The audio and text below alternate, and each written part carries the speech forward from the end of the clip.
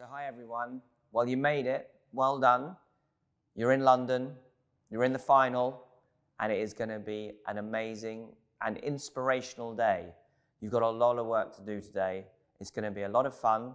It's going to be quite hard and quite tough and a little bit emotional sometimes, but really well done. Superb. You've made it. So just do your best. And I know it's amazing.